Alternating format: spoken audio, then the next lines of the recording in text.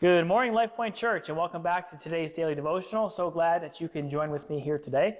I've got some scripture and an easy thought to share with you, and let's get right into it. You've heard of Orville and Wilbur Wright, right?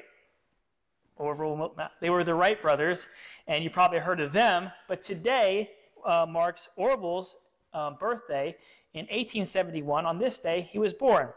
And him and his brother, they were the first people that we know of that were able to control flight with a motorized airplane. So they invented the airplane. now, there was a lot of people that tried a whole lot of contraptions before them. People kind of like paper mache wings to their body and tried to fly, and yeah, that didn't work out. Um, people that kind of just tried to glide around, but they were able to have powered flight and to control that flight. Now, they had a, an attempts also, and with all the people that had had attempted flight before them, there was a lot of critics that said, well, that's just not going to work. And even when they presented their airplane, there was friends and critics that would say, it'll never fly. It'll never fly. But to everyone's amazement, they were able to take off and control flight.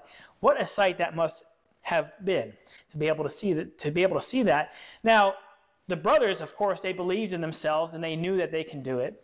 And even when the critics said that it'll never fly, they had this vision in their mind that one day they would be able to fly.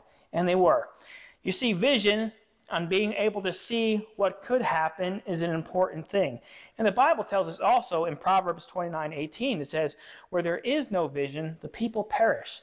You see, vision and being able to see what God wants to do is a very important thing. It gives us faith, it gives us hope, it gives us strength to go on. And this church has a vision. The new building that we're building has a vision.